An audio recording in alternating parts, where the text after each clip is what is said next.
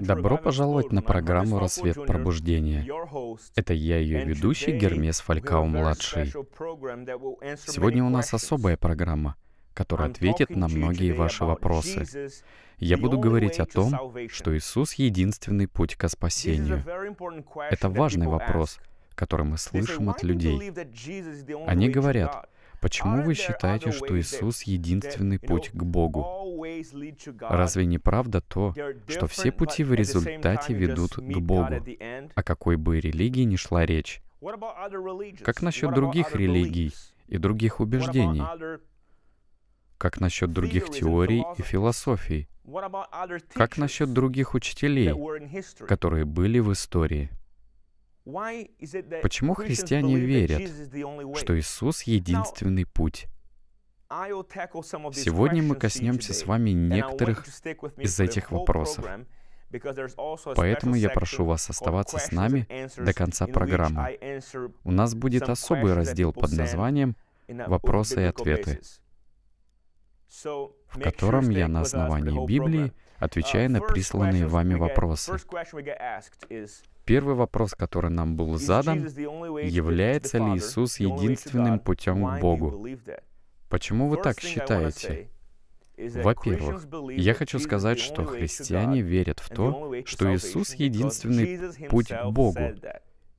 В книге Иоанна, глава 14, стих 6, Иисус сказал ему, «Я есть путь и истина и жизнь. Никто не приходит к Отцу, как только через меня. Это слова самого Иисуса. Мы это не придумали.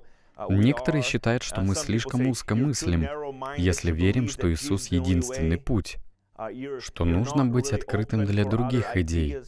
Но Иисус явно говорил о том, что Он — тот самый путь, та самая истина и та сама жизнь. Если вы верите, что Иисус — это Спаситель мира, что Он Сын Божий, вы знаете, что Он бы не солгал, говоря «Я есть путь». Он имел в виду, что Он единственный путь. «Я истина». Он не говорил «Я один из путей», «Я одна из истин». Называя путем, Он заявлял, что Он единственный — он сказал фарисеям, «Если вы не поверите в Меня, то умрете в грехах ваших». Он показал, насколько исключительным является путь к спасению. Нужно уверовать в Него.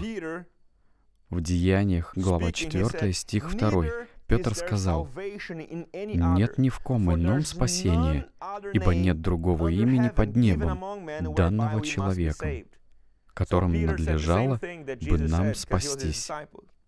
Петр сказал то же, что говорил Иисус, ведь он был его учеником.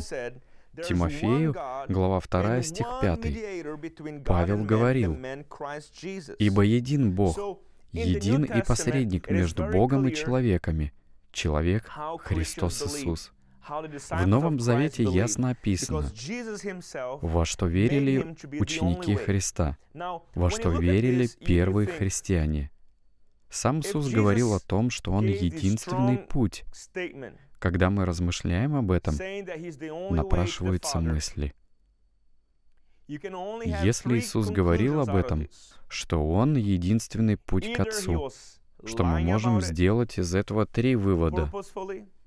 Либо он намеренно лгал, зная, что он не единственный путь, и называл он себя единственным путем из эгоистических побуждений. Либо второй вариант, что он был слегка не в себе и обманывал сам себя. Он реально верил в то, что он единственный путь к Отцу. А на самом деле это не так. Он говорил совершенно искренне, но обманывал сам себя, что Он единственный путь. И третий вывод. Иисус не обманывал людей, не был лукавым человеком и не был не в себе. Но Он на самом деле является единственным путем к Отцу. Поэтому вы не верите, Гермес. Я верю, что Иисус был хорошим человеком, но просто он был слегка не в себе. Нет. Или я верю, что он был хорошим человеком, в чем он солгал. Он возомнил себя тем, кем на самом деле не является. Это бы показало, что никакой он не хороший человек. Поэтому, если Иисус не был безумцем, не был сумасшедшим и не был тем, кто намеренно всем лгал, то мы можем сделать вывод, что он на самом деле um, тот, кем он себя называл. Он Сын Божий, единственный путь к Отцу. И это очень важный вопрос, потому что мы должны понимать, кто такой Бог. Проблема в том, что люди любят диктовать, что и как должно быть на основании их собственного восприятия. Но не так все работает. Мы не творцы. Мы творение. Мы играем по правилам нашего Творца. Он оставил человечеству рецепт по причине того, что человек согрешил. Все мы знаем историю Адама и Евы. Они согрешили против Бога, ослушались Бога и отпали от Божьего плана. У Бога был план послать своего Сына, чтобы Он прожил совершенную, безгрешную жизнь. И через Его смерть на кресте Он должен был заплатить за грехи всего мира. Сказано в послании Иоанна. Мы с вами должны подчиниться правилам и Слову нашего Творца. Он сказал, «Это мой план для человечества». Это мой план. Для того, чтобы войти в мое присутствие, чтобы стать на путь спасения, вам нужно принять того, кого я послал. Уверуйте в Нем и примите то, что Он совершил. Если вы это сделаете, если вы будете прощены, потому что в наказание уже свершилось через жертву Христа. Мы с вами несовершенные люди, и мы по умолчанию являемся теми, кто согрешил против Бога из-за Адама. Поэтому должен был появиться совершенный человек, который проживает совершенную жизнь. Он должен был заплатить цену за всех. Потом он сказал, «Придите ко мне, все труждающиеся и обремененные, и найдете покой душам вашим». Это приглашение касается абсолютно каждого. Кто-то спросил, um, а как насчет тех людей, которые не слышали Евангелие? Дорогой друг, в день суда Бог разберется с этим вопросом. Но наша задача, пока мы здесь на земле, проповедовать Евангелие всем людям. Поэтому Иисус сделал такое сильное ударение на проповеди Евангелия. Он велел идти по всему миру и проповедовать Евангелие всякой твари. Поэтому он сильный акцент ставил на великом поручении. Он хотел, чтобы ученики осознали всю срочность, что время коротко, и что нужно распространять рецепт спасения в этом падшем мире.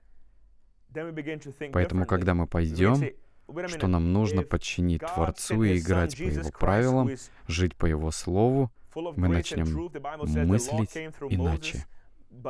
Мы скажем, постойте, если Бог послал своего Сына, который полон благодати и истины, Библия говорит, что закон пришел через Моисея, а благодать и истина через Иисуса Христа. Бог подтвердил, что Он Сын Божий, воскресив Его из мертвых. Об этом мы поговорим в следующей части программы. Мы будем говорить о воскресении, и я должен подчиниться пути спасения, исследовать его рецепту. Что вы делаете, когда врач выписывает вам рецепт? Что вы спорите с вашим врачом, предлагая свои лучшие варианты? Вы что, врач? Вы что, знаете о медицине? Или вы просто подчиняетесь тому, что сказал вам врач, и четко следуете указаниям вашего врача? Сейчас у нас будет перерыв, после которого мы продолжим. Добро пожаловать в раздел «Вопросы и ответы». Все эти вопросы мы получаем от вас. Моя задача постараться дать вам обоснованный Библии ответ на поставленные вами вопросы. Вы можете задавать вопросы, посылая их на наш электронный адрес. Задавайте любые вопросы по Библии, вопросы о жизни, все, что вызывает у вас интерес и любопытство.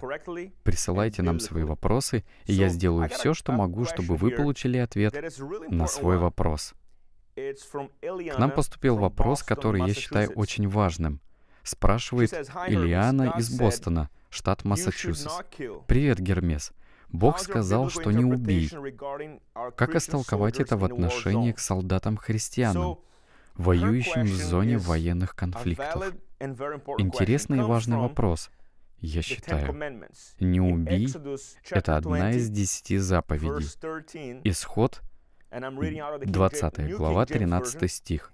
Я прочту из новой версии короля Иакова. «Не совершая убийства». Во многих английских переводах стоит слово «kill», а не слово «murder». В этом и скрывается суть этого вопроса. Если Бог велел нам не убивать, то как же тогда солдаты-христиане? Они участвуют в военных конфликтах и порой убивают людей. Как к этому относиться? Первое, что мы должны понять, это значение слова «убий», которое стоит в данном месте Писания. Большинство толкований Библии склоняются, что с иврита правильнее перевести «не совершая убийства». Убивать и совершать убийство — различные понятия. На иврите это слово «лотиса». Она обозначает убийство, отбирать у кого-то жизнь. Я прочту вам отрывок из комментариев к этому месту. Убийство — это намеренное действие, когда человек забирает жизнь другого человека. Заповедь не имеет в виду, когда человек убил кого-то случайно, убил во время войны и не включает смертную казнь. Она не включает административные санкции, данные государству, чтобы останавливать зло в падшем мире. То есть, когда человек совершает убийство, он делает это, чтобы просто лишить человека жизни. Скажем, кто-то на кого-то разозлился и убил. Это считается убийством. Но если вы ехали, и случайно кто-то выскочил на дорогу, вы его сбили, и в um, результате этот человек умер. Вы его убили, но вы не совершали убийство. Ильяна спрашивает конкретно о войне. Война — это ужасно. Понятно, что в ней нет ничего хорошего. Но если ты на войне, и тебя пытаются убить, тебе нужно действовать. Нужно стрелять, иначе тебя самого убьют. В этом случае это не считается убийством. Я надеюсь, я смог вам доступно объяснить разницу между «не убей» и не совершая убийства. Я не оправдываю войны. Я просто пытаюсь истолковать, что означает заповедь «не убий». Крайне важно тщательно проверить uh, правильность перевода. И это объясняет логично, потому что в Ветхом Завете мы видим массу примеров, когда израильтянам uh, приходится воевать в сражениях. К примеру, Давиду пришлось убить Голиафа. Если бы заповедь «не убей» означала любое лишение жизни, то Давид был бы неправ перед Богом, убив Голиафа. Но мы знаем, что в то время Израиль воевал с филистимлянами. Важно четко различать, что является простым убийством, а что нет. Я благодарю вас за ваш вопрос. Я прошу вас всех высылать свои вопросы. Возможно, у вас есть какой-то вопрос по Библии. Вы чего-то не поняли. Может, вы сомневаетесь в правильности перевода. Присылайте ваши вопросы, и мы постараемся ответить. Итак, поговорим об Иисусе как о единственном пути спасения. Я привел вам несколько мест Писания, в котором сам Иисус говорит об этом. Он ясно заявляет об этом. Но все же есть люди, которые задаются вопросом, почему именно Иисус? Почему это не может быть Будда или Конфуций или еще кто-то из выдающихся людей в истории? Кто совершил что-то великое? Почему Иисус? Я приведу вам иллюстрацию, и вы получите ответ на этот вопрос. Представьте, что мы с вами решили прогуляться и зашли в лес. Лес очень большой, множество деревьев. Мы так много бродили, мы устали и понимаем, что заблудились. Мы не знаем, как выбраться. У нас нет ни телефона, ни мобильной связи. У нас нет GPS-навигатора. И мы реально не знаем, что делать. Мы в отчаянии. Нужно выбраться из этой ужасной ситуации и сделать это затемно, иначе мы окажемся в большой беде. Мы продолжаем идти и звать на помощь. Мы кричим громко «Помогите! Помогите на помощь!» И вот мы приходим к месту, где видим двух людей. Один из них лежит на полу неподвижный. Он мертв. Второй в полном порядке. На нем униформа лесного рейнджера. Это означает, что этот человек профессиональный спасатель. Он может вывести нас из леса, и он, в отличие от того другого, живой. Друзья, это показывает разницу между Иисусом и всеми другими религиозными лидерами. Как можно попросить мертвого показать вам выход? Вы что, попытаетесь его разбудить, чтобы спросить, «Эй, как мне выбраться отсюда?» Он вам ничем не поможет. Он мертв. Он не имеет жизни, не имеет силы и уж точно не может вас вывести из данной ситуации. По той простой причине, что он мертв. Но вы, безусловно, можете попросить того, кто жив и на ком униформа. Подскажите мне, как мне выбраться отсюда? Иисус единственный, кто воскрес из мертвых. Он живой. Вы можете найти могилу любого религиозного лидера. Археологи доказали, что они мертвы, что в их могиле лежат их кости. Они вам не ответят, но Иисус живой. И когда вы заблудились, как в той иллюстрации, что я привел, это символ того, что вы в грехах. Под властью греха вы совсем потеряны. И у вас нет ответа, потому что это символ того, что вы в грехах. И вы под властью греха. Вы далеки от Бога. Вы приходите к Христу, единственному пути к Богу, и просите Его помочь вам выйти из этой ситуации, избавить вас от этого грешного состояния. Именно это делает Иисус, потому что Он живой. Он не теория, Он не сказка, Он живая личность. И Он желает услышать крик вашего сердца.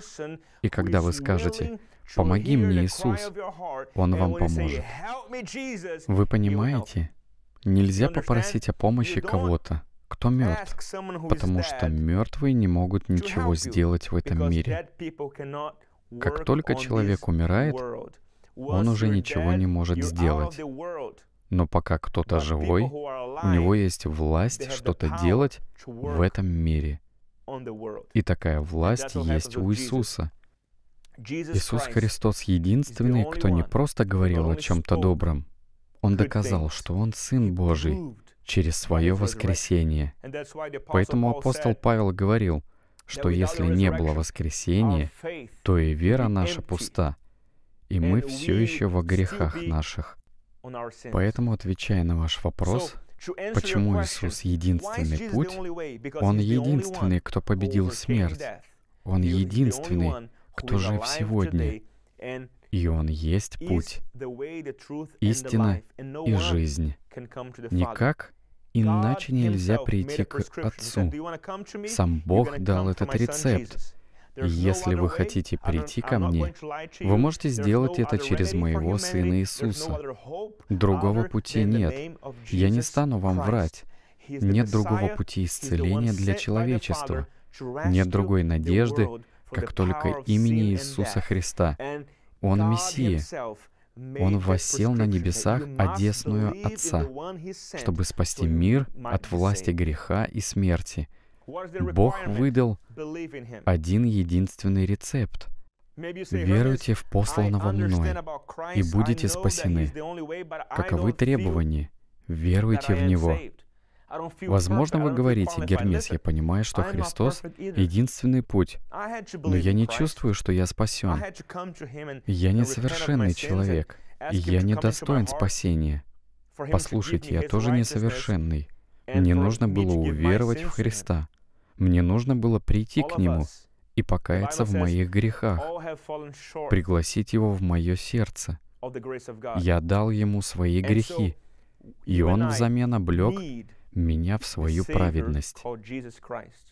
Библия говорит, что все мы согрешили и лишены славы Божьей. И поэтому нам нужен Спаситель. Нам нужен Иисус Христос. Вы говорите, я искал Бога в разных религиях, но так и не обрел мир внутри меня. У меня нет уверенности в моем спасении. Возможно, вы даже ходите в церковь и слушаете хорошие проповеди, но вы не пригласили Иисуса стать вашим личным Господом и Спасителем. Вы должны лично принять Его. Вы не можете жить верой другого человека. Вы должны лично переживать Господа. И я хочу помолиться за вас. Единственное, как вы можете стать на путь спасения и принять вечную жизнь, это принять его в своем сердце.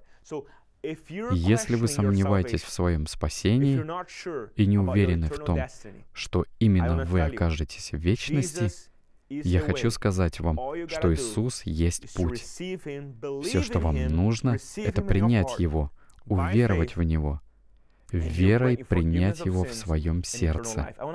Я хочу помолиться сейчас. Если вы этот человек, то кем бы вы ни были и откуда вы ни были, произнесите эту молитву вслед за мной и верьте, что Господь войдет в ваше сердце. Во имя Иисуса скажите — Господь, спасибо Тебе, что Ты умер на кресте за мои грехи. Я прошу Тебя войти в мое сердце. Стань реальным для меня. Я благодарю Тебя, что Ты воскрес в третий день. я верю, Иисус, что Ты — Сын Божий, и Ты пришел в этот мир, чтобы спасти меня. Я принимаю Тебя сегодня как моего Господа и Спасителя — во имя Иисуса. Если вы молились этой молитвой и делали это от всего сердца, то я уверяю вас, что только что вы обрели спасение. Это так легко, но это очень глубокое действие. Помните, как вор на кресте возвал Господу, «Помяни меня в Царстве Твоем». Иисус ответил ему, «Ныне же будешь со мной в раю». Мы должны веровать и исповедовать свою веру. Библия говорит, если будете верить в сердце своем и исповедовать устами своими, что Иисус Господь, то будете спасены. Я поздравляю вас, вы стали частью Божьей семьи. Сообщите нам, что вы приняли это решение. Напишите нам на электронный адрес – который вы видите на экране.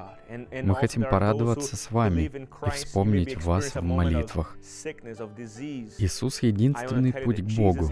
Может быть, вы уже веруете в Христа, и сейчас вас атакует болезнь или немощь. Я хочу сказать вам, что Иисус также целитель. И я хочу молиться о вас во имя Иисуса. Отец, я молюсь во имя Господа Иисуса Христа, что Ты коснулся Твоего народа по всему миру и высвободил свою силу и свою славу в их дома. Где бы они ни были, Отец, высвободи свое присутствие во имя Иисуса. Пусть Твоя слава коснется их, пусть то, что Ты совершил на кресте, проявится в их телах. Во имя Иисуса я призываю всякой болезни и немощи убраться вон. Я благодарю Тебя, Отец, во имя Иисуса. Аминь. Помните, что мы вас любим и хотим вам помочь. Становитесь нашим партнером. Присоединяйтесь к нашей миссионерской поездке. Если вы хотите возрастать в Господе, у нас есть для вас онлайн-школа. Заходите на наш сайт. Там вы найдете раздел онлайн-школы. Регистрируйтесь сегодня. Ваша вера сильно возрастет. У нас есть множество свидетелей тех людей, кто сильно возрос в вере и сейчас имеет сильную сильную духовную жизнь. Также вы можете поддержать наши миссии по всему миру. Станьте молитвенным и финансовым партнером нашего служения. Мы вас любим. Спасибо, что вы смотрели эту программу. Делитесь ссылкой с вашими друзьями. Поддерживайте с нами связь. Мы ждем от вас вопросы и комментарии, а также ваши молитвенные просьбы. Вы нам очень важны и дороги. Благослови вас Бог.